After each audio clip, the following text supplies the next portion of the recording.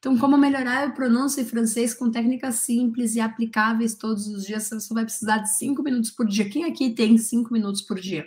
Cinco minutinhos daria, vai. Fala assim, ah, eu tenho pouco tempo na minha vida, mas cinco minutos, imagino que todos vocês consigam organizar cinco minutinhos. Se esse é o seu caso, ou se você acha que esse não é o seu caso, também vou te mostrar como é assim.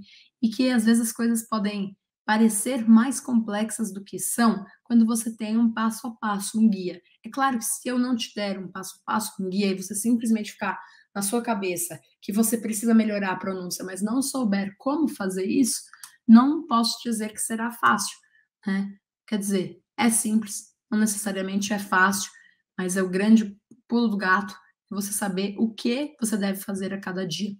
A pronúncia, como eu estava falando, é um grande entrave na relação de muita gente com a língua francesa. Existem muitos sons que se confundem. E eu quero saber aqui de vocês se vocês acham que eu estou falando a mesma coisa ou coisas diferentes. Então, primeiro exemplo: Jeanne, Jona. Falei duas vezes a mesma coisa? Então, põe aí mesma coisa ou diferente. Vou repetir: Jeanne, Jona. Que são duas palavras.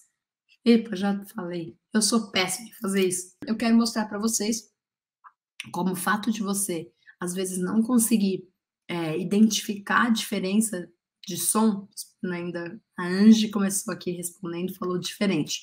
Jeanne, Jone. Jeanne, Jone. E agora a pergunta é, legal, muitos de vocês estão conseguindo ouvir a diferença, mas a minha pergunta é se você consegue fazer a diferença. Fala aí e, e me fale se você consegue ou não consegue tem gente também que já está falando que é muito parecido.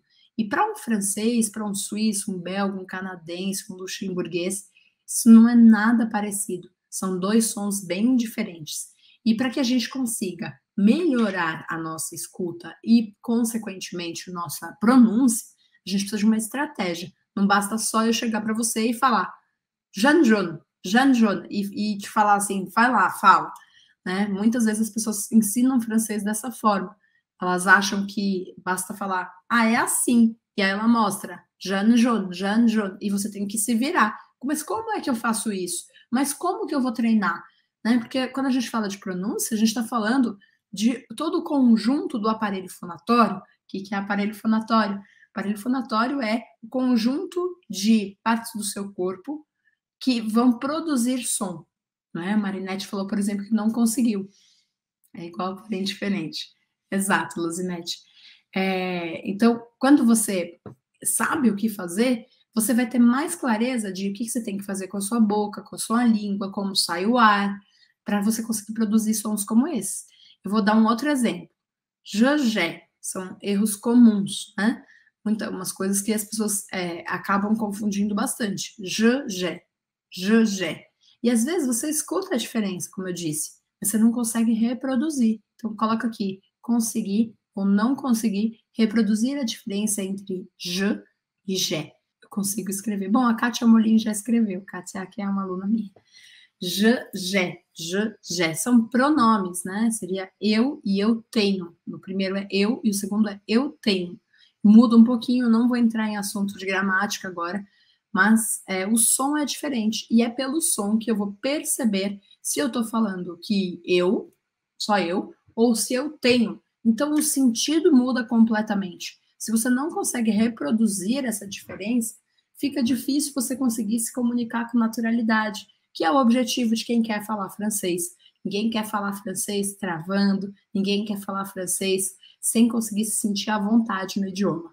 E aqui um último exemplo de um erro bem comum. Eu acho que vocês conseguem ouvir a diferença, mas eu, eu percebo que muitas vezes quem não tem o francês ativo, o que, que acontece? Acaba confundindo esses, esses dois sons, e isso faz com que você é, possa até sofrer um certo bullying é, pela língua, né? Porque você pode falar besteira. Por exemplo, cu e cu. Cu e cu. Então, eu queria saber se você escuta a diferença e se você consegue reproduzir essa diferença. Cu, cu. Cu, Q. Q. Vou dar um exemplo bem prático de onde isso aí você não pode se enganar. Quando você fala beaucoup, beaucoup, que significa muito, Você tem que fazer esse som U no final.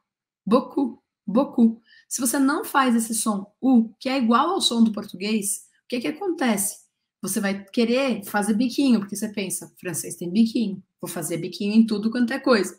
Aí você pega e fala beaucoup, beaucoup. Mas se você falar beaucoup, você está falando que o cu da pessoa ou que a bunda da pessoa é bonita.